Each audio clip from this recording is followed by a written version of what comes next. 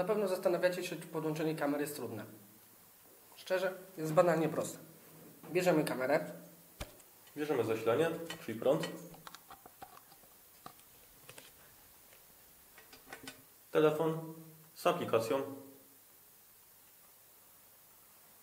Czekamy chwilę, aż kamera skonfiguruje się z y, siecią.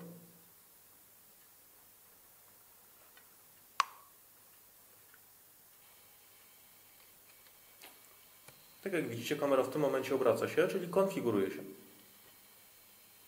Podgląd będzie za chwilę dostępny.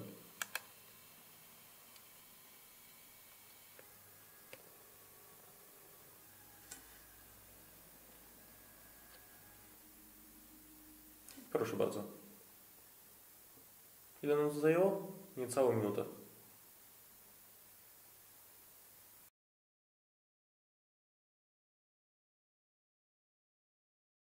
Na pewno zastanawiacie się, czy podłączenie naszej kamery jest trudne. Szczerze, jest banalnie proste. Bierzemy kamerę, Bierzemy zasilanie. Taki zasilacz znajduje się oczywiście w zestawie. Podłączamy go do kamery.